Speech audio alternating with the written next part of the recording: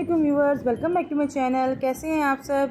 आज मैं आपके साथ शेयर करने जा रही हूँ आलू की कतली की रेसिपी जिसे बनाना बहुत ही आसान है और झटपट से बन के ये रेडी हो जाती है। इसमें हम ख़ास इंग्रेडिएंट डालेंगे, जिसकी वजह से इसका फ्लेवर और खुशबू जो है वो और भी ज़्यादा मज़े की हो जाएगी। इसलिए रेसिपी को अंत तक ज़रूर देखिएगा।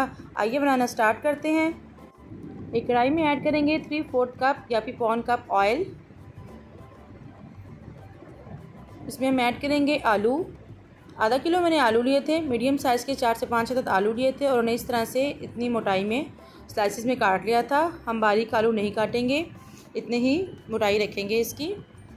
इनको अच्छे से हम फ्राई करेंगे, इनको हम इतना फ्राई करेंगे, इनका कलर जो है वो चेंज हो जाए और तकरीबन ये हाफ़ कुक भी हो जाएँगे साथ ही। और अगर अभी तक आपने मेरे चैनल को सब्सक्राइब नहीं किया तो प्लीज़ चैनल को सब्सक्राइब करें और बेल आइकन को प्रेस करें। जी आलू जो है हमारे बहुत अच्छे से फ्राई हो गए और देखिए ना कलर जो है वो चेंज हो गया इन्हें हम निकाल लेंगे। इनको अच्छे से हम निकाल लेंगे ताकि इनका एक्सेस ऑयल जो है वो निकल जाए। जी, सारे आलू हमने निकाल लिए हैं। अब सेम ऑयल में जो मैंने स्पेशल इंग्रेडिएंट कहा था, वो है ये बड़ी वाली साबुत लाल मिर्चें। इनको हम सात से आठ अदद मैंने लाल मिर्चें ली हैं और इनको मैं अच्छे से फ्राई करूँगी ताकि ये क्रिस्पी हो जाए। देखिए, अच्छे से क्रिस्पी हो गई और इन्हें कलर भी चेंज हो गया। अब हम निकाल लेंगे और इन्हें ठंडा कर लेंगे। अब उस सेम ऑयल में हम ऐड करेंगे एक चाय का चम्मच ज़ीरा। इसमें हम ऐड करेंगे दो खाने के चम्मच चॉप की हुई प्याज। इसको हम तकरीबन पाँच से दस सेकेंड के लिए हम इसको फ्राई करेंगे। फिर हम इसमें ऐड करेंगे दो अदद मीडियम साइज़ के टमाटर, जिसके बीच मैंने रिमूव कर लिए थे और बारीक जो काट लिया था, वो ऐड करेंगे। उनको अच्छे से हम थोड़ा सा भून लेंगे ताकि टमाटर जो हमारी सॉफ्ट हो जाएँ। दो मैंने हरी मिर्ची ली हैं, उनको मैंने बारीक काट लिया है, वो ऐड करेंगे इसमें।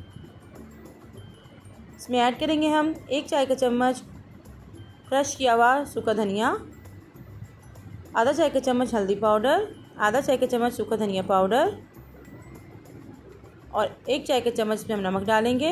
इसको भी अच्छे से मिक्स कर लेंगे और इसकी अच्छे से हम बुराई कर लेंगे। अब जो मिर्ची हमने फ्राई करके रखी हुई थी, उनको हम अच्छी तरह से क्रश कर लेंगे। अगर हम चाहें तो हम इसमें कुटी हुई मिर्ची भी डाल सकते हैं या पीसी हुई मिर्ची भी डाल सकते हैं। लेकिन इन मिर्चों के साथ ये बहुत ही ज़बरदस्त फ्लेवर आता है और बहुत अच्छी खुशबू इसकी आती है। कलर तो अच्छा होता ही होता है। यही वो स्पेशल इंग्रेडिएंट्स है, जिसकी वजह से ये आलू कतलियाँ जो बहुत ही चटपटी तैयार होंगी हमारी। इसमें हम ऐड करेंगे एक कप पानी या फिर जितनी ग्रेवी आपको पसंद हो। 200 से लेकर 225 सौ तक पानी जो है हम इसमें डाल सकते हैं। इसमें हम ऐड करेंगे अपने आलू। उनको अच्छे से मिक्स करेंगे। और इन्हें हम ज़्यादा देर तक पकाएँगे नहीं, क्योंकि आलू जो है हमारे तकरीबन 80 परसेंट तक गले हुए हैं, जब हमने फ्राई किया था तो तकरीबन ये हाफ़ कुक हो चुके हैं। इनको अच्छे से हम इस तरह से तीस सेकेंड के लिए भून लेंगे। और फिर कवर करके इनको तीन से चार मिनट के लिए रख लेंगे, ताकि आलू जो है फुले डन हो जाए हमारे। तीन से चार मिनट हो गए हैं और हमारे आलू जो है बहुत अच्छे से गल गए हैं। ये देखिए कितने ज़बरदस्त हमारे आलू जो है बिल्कुल तैयार हैं। हमारी तैयार है हमारी बहुत ही ज़बरदस्त सी, चटपटी सी आलू की कतलियाँ। अगर आपके पास खाने में टाइम कम हो और आपको समझ ना आ रहा हो, आप क्या बनाएँ या अचानक से कोई मेहमान आ जाए तो फटाफट से कि आलू की कतलियाँ बना के आप उनके आगे रखें। वो उंगलियाँ चाटते रह जाएँगे। अब इसे गार्निश करेंगे हम हरा धनिया के साथ और हरी मिर्चों के साथ। और अगर चाहें तो आप उसके बाद थोड़ा सा गर्म मसाला भी डाल सकते हैं। ये ऑप्शनल है।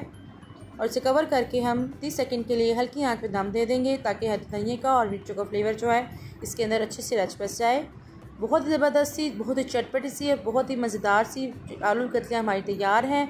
सर्व करने के लिए आप इन्हें चपाती के साथ सर्व करें या नान के साथ।